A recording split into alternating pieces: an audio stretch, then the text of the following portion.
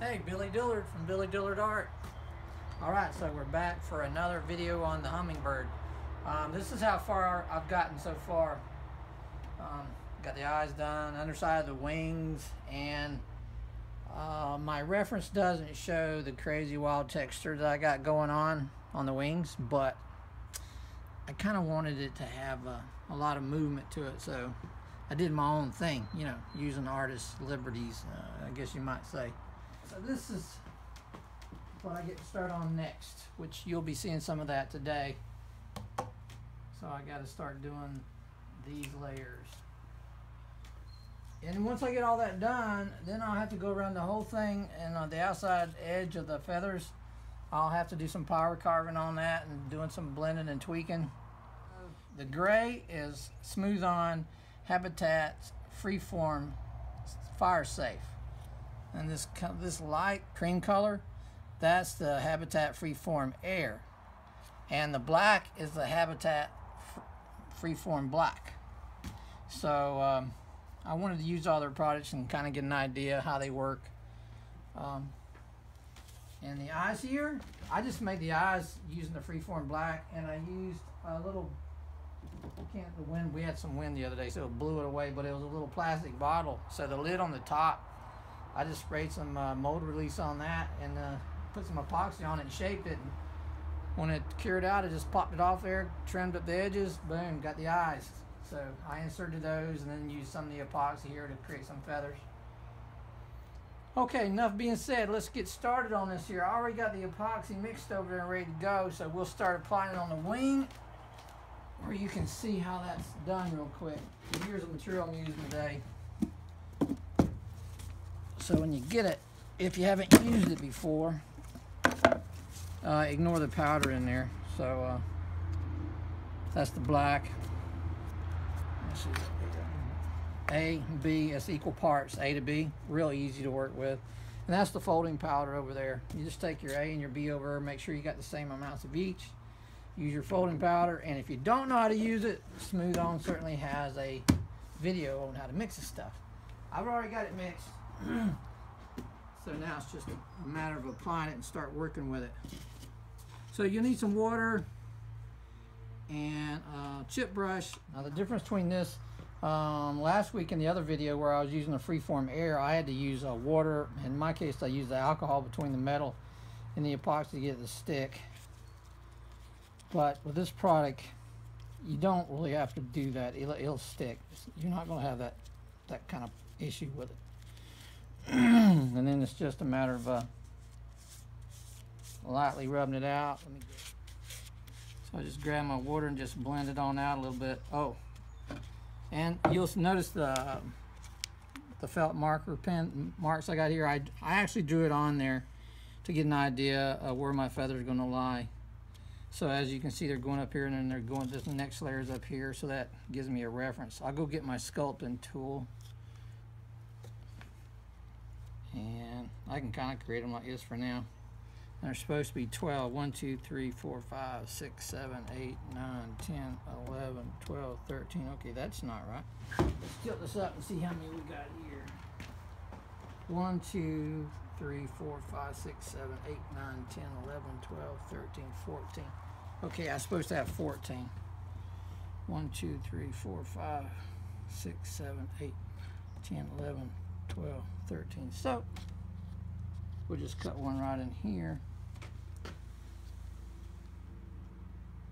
And the main thing is you want to line them up here because when you get done, you want your feathers um, you got a good reference, you can kind of see when you look at this side of the feathers and then you look at the other, you got to keep that in mind as far as um,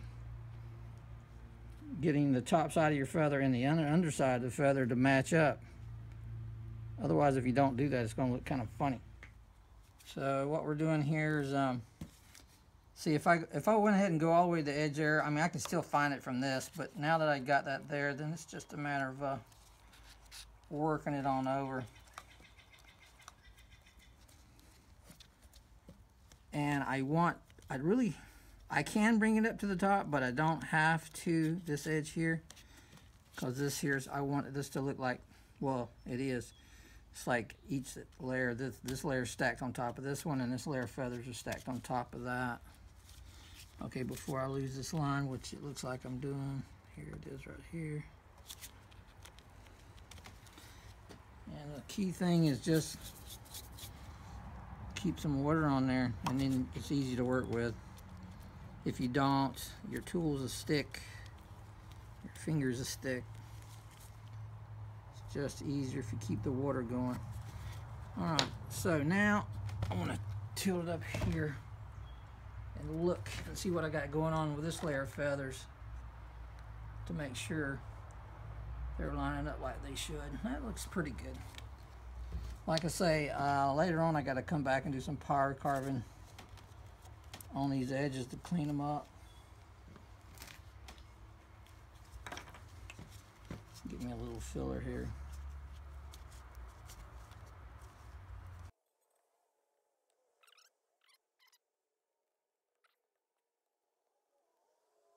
Just a matter of blending the edges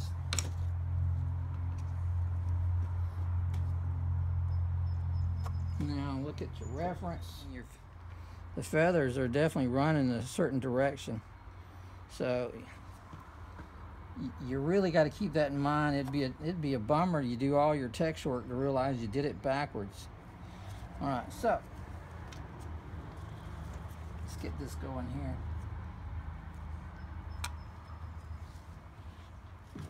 There again, if it gets too dry, see where it tore right there? That's just because it it was too dry. This is my first layer here.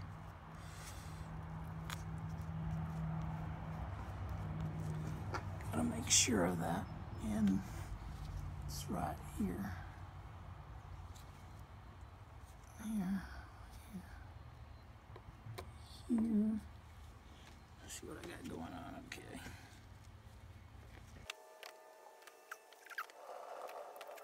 So what I'm doing here is making sure um, that I'm getting the ind individual feathers correctly as far as where it would be coming out.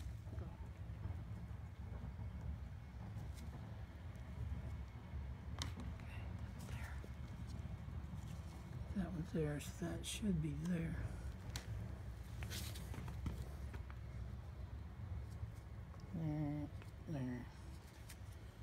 Okay. So this is the first step is just um, getting this cut in.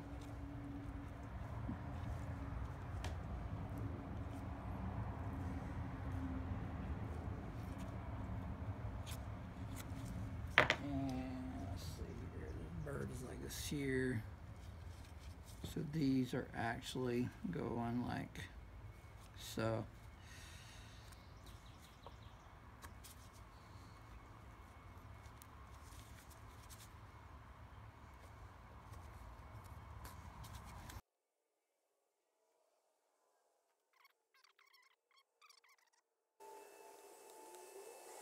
You see here where I was pulling it that way?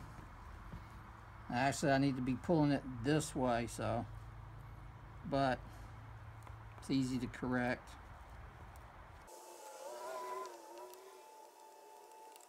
Okay, so how many feathers I got? 1, 2, 3, 4, 5, 6, 7, 8, 9, 10, 11, 12, 13, 14. Cool. That's how many I'm supposed to have.